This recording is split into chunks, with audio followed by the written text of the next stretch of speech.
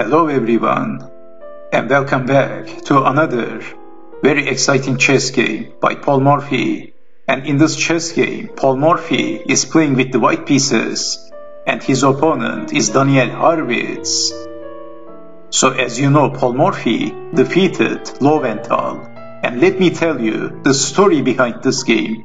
After the Lowenthal match ended, Paul Morphy's attention again focused on Howard Staunton Morphy wrote Staunton a brief note. On August 14, 1858, after the match with Lowenthal, Staunton replied that he wanted some time to prepare for the match. Of course, Paul Morphy accepted the offer, but in August 21, Morphy wrote the second note to Staunton, and Morphy wanted a definite answer but Howard Staunton left for the Birmingham meeting without even replying to the letter of Paul Morphy. But Staunton was still playing chess at that time on the tournament where he learned that Morphy wouldn't be playing, which was funny enough. So it's very obvious that Staunton was afraid of Paul Morphy. He don't want to lose to Paul Morphy, that young kid, for not damaging his reputation so finally, Paul Morphy was weary enough because of the situation and left England to travel to France, where he wished to play Harrwitz in Paris and possibly Anderssen in Germany. Harrwitz was the best player in the famous Café de la Régence, and Harrwitz, without any doubt, the second best player in the Europe after the world chess champion Adolf Anderssen. So Harrwitz was considered as the best player, best chess professional in Europe, along with Anderssen, he was defeating everyone in Café de la Régence, in the famous cafe in France, Paris. He was the strongest player every day. He was defeating the comers who was challenging Harrwitz. This time, the challenger was Paul Morphy. Harrwitz was one of the most renowned player at that time. He was the famous player at first, when Harrwitz met with Morphy, he acted reluctant to play a match with Morphy, but finally he accepted the offer and offered to play a non-official match, a casual game with Paul Morphy. So Paul Morphy accepted the challenge. They played a chess game and Harrwitz destroyed Paul Morphy, defeated Paul Morphy, believe it or not. But after defeating Paul Morphy immediately, he accepted the challenge of Paul Morphy, so they were ready to play an official match. The stakes were set at 295 francs. The match started on September 5. Let's check out the match. So this is the first official match between Harrwitz and Paul Morphy. After losing the match, Paul Morphy is ready to defeat Harrwitz in this official match. So as you know, Paul Morphy lost the casual game against Daniel Harrwitz. And this is round one, which was played in September in 1858. So Paul Morphy is playing with the white pieces and Harrwitz has the black pieces.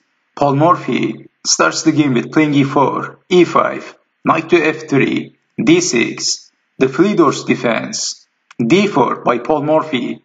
E takes on d4. Queen takes on d4, knight to c6. This is the exchange variation of the Philidor's defense. Bishop to b5, pinning the knight. Bishop to d7, unpinning the knight and attacking the queen. Bishop takes knight. Bishop takes on c6. Bishop to g5. Blocking the bishop, defending the queen. Knight to c3 bishop to e7, and after this move, Paul Morphy castled in the queen side, and Daniel Harrwitz castled in the king side. Rook from h2 e1, h6, attacking the bishop, bishop to h4, knight to e8, exchanging the bishops, e5 by Paul Morphy, bishop takes knight by Daniel Harrwitz, damaging the pawn structure, so Paul Morphy captures back. G takes on f3, but maybe in the future, this open G file could be very handy. So queen to G5, and in this position, Harrwitz played the best move, and so far, Harrwitz played very accurately. King to b1, d takes on e5, rook takes on e5, attacking the queen, queen to g2, again, the best move by Harrwitz.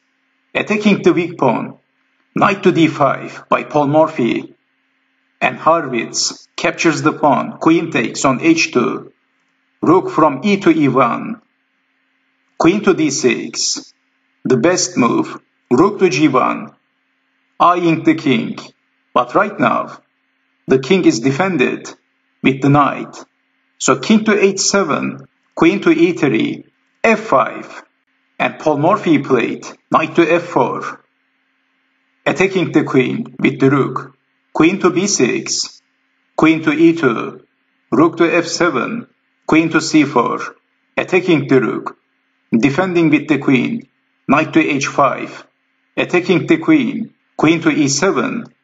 So Harrwitz needs to stay close to the rook. Rook from d to e1, queen to d7, saving the queen, a3 by Paul Morphy, knight to d6, attacking the queen, and Paul Morphy played queen to d4, rook to g8, adding more defense, rook to g2, knight to e8. And in this position, Harrwitz wants to exchange the queens, which is very reasonable. So in this position, Harrwitz is a pawn up. And after exchanging the queens, black is winning easily in this endgame. Also, white has this damaged pawn structure. So black is far more better in this endgame. That's why Paul Morphy is rejecting to offer queen to c3 not exchanging the queens. In this position, queen takes on a7 was the better move, f4, then queen to c5, and everything seems alright for white. So Paul Morphy played a passive move, queen to c3, f4 by Harrwitz, rook to h1 by Paul Morphy. A very bad move, a blunder well, in this position, what would you do if you had the black pieces? Well, Harrwitz played g6, trapping the knight. This is unbelievable. Well, Paul Morphy played very badly. So after g6, how to defend the knight? The knight is not going anywhere.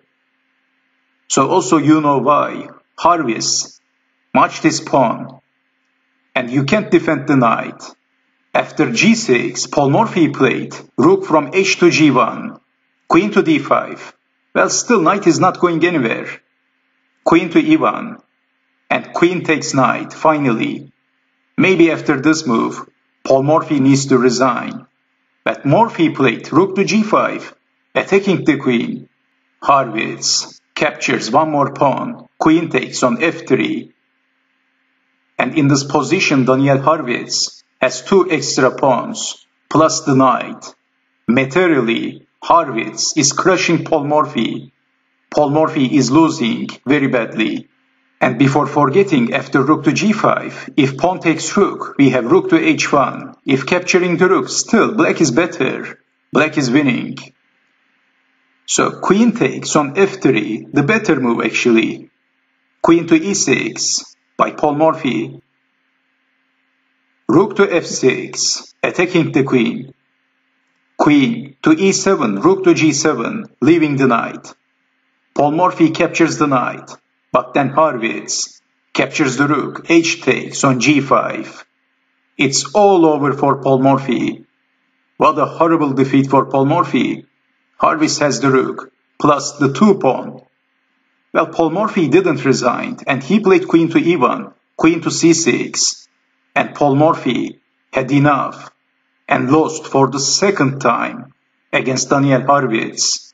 What a disgusting game for Paul Morphy. How Harrwitz fooled Paul Morphy. How he captured the knight. What was Paul Morphy thinking? What a strange game. As a very accurate chess player, one of the most accurate in the history, Paul Morphy played like a beginner. And he lost very badly to Daniel Harrwitz.